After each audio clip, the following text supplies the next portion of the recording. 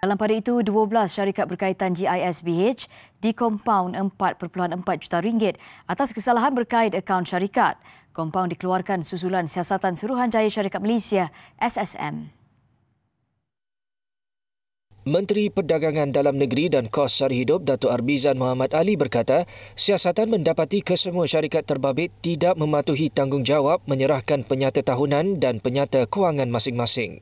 Memang uh, dari segi kerangka perundangan tersebut kita dapati ada uh, kesalahan-kesalahan tertentu uh, dan sebenarnya kita telah pun mengeluarkan compound kepada GISB atas pelanggaran ketidakpatuhan kepada akta-akta yang terkait sama ada akta syarikat, akta PLT dan juga akta perniagaan tersebut. Selain GISBH, 17 syarikat lagi turut didapati menggunakan nama GISB dalam pendaftaran SSM.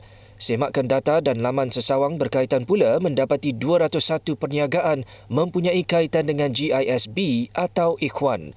Jelasnya dalam isu berkenaan, KPDN bertanggungjawab membantu Bukit Aman dari segi perundangan serta ketidakpatuhan terhadap akta berkaitan oleh rangkaian perniagaan GISBH.